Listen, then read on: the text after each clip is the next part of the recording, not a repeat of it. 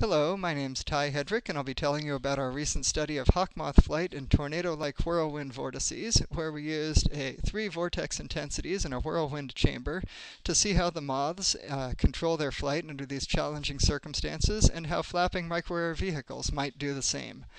So you can see here that the moths have a graded response of body and wing motion to the whirlwind intensities.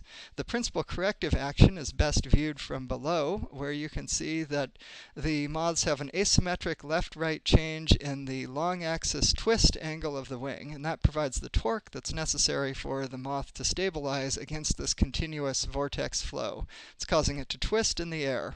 Of course, our device can push the moths beyond their capabilities. At the highest intensities, we often saw the moths fail to maintain stability and crash. So in summary, the moths are able to maintain flight stability in these challenging circumstances with a suite of left-right symmetric and asymmetric wing changes to wing motion, uh, but principally the long axis wing rotation angle.